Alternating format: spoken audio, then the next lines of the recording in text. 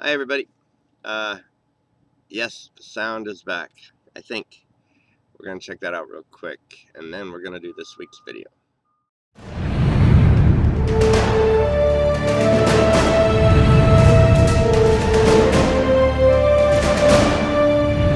Hey everybody.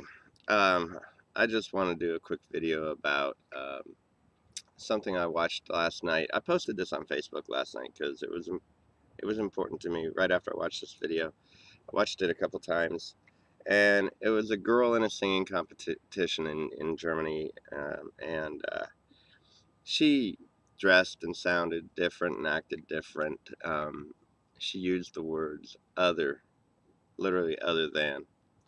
Um, she said, I look other, I act other. And um, yeah, definitely not your stereotypical teenage girl.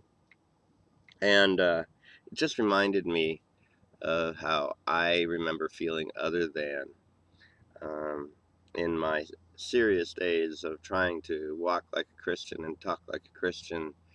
And uh, there were people in my church that I really felt they were they they obviously had it down. They were ha- they, they were happy, so they must have been doing it right or something because I felt very not right. I and I, it made me feel at first less than. And uh, but um, the people who used to give their testimonies about how they were once less than, it was all because they had problems. They um, changed something in their behavior. They used to uh, they used to drink, smoke, listen to rock and roll, whatever, and then they found Jesus and found the light, and they and they got rid of all that. And I was like, well, at least they could find a fix.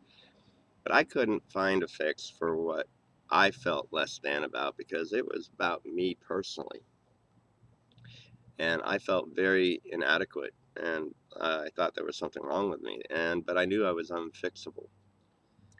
Um, that's when I really started seeking out um, what was really true about what I was believing because I was really serious about it and I took it to heart.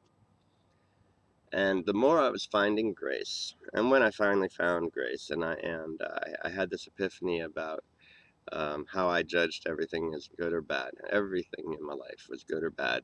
People, places, things, events, occurrences, moments. I I I was just programmed in my in my religious thinking to judge it when I stopped judging altogether, uh, neither calling anything good nor bad, um, I I real I started understanding what Paul said grace was. Um, I literally had to throw the my biblical law out, and I and then I remembered what Paul said about that. It was nice because you know what, this gospel of grace and peace it's for everyone, and everyone is other than. Know why I say that? Because nobody's greater than anybody else. Nobody's less than anybody else. And everybody truly is unique and other than. So this gospel is for you. If you feel other than, you're on your way. Have a revolutionary week.